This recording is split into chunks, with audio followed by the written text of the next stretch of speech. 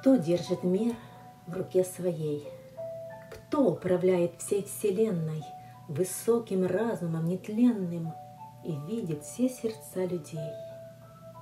Как много на земле людей, Высоких, малых, слабых, сильных, Жестоких и любвеобильных, Прошедших множество путей.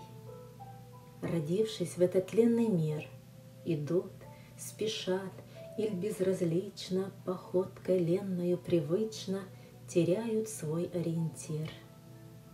По жизни человек идет, как челн, плывущий в водах моря, изведавший немало горя, свои дела с собой несет. Чем жил, что в сердце его есть, один с соломой перепревший, другой с пшеницей созревшей — а есть дела пустая жесть.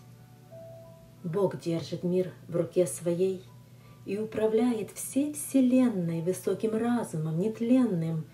Он видит все сердца людей, живущих во вселенной всей, высоких, малых, слабых, сильных, жестоких и любвеобильных, идущих к родине своей.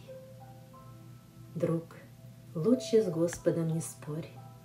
Ты один раз живешь на свете, но жизнь другая после смерти всех ожидает на отбор. Вся наша жизнь в руках Творца.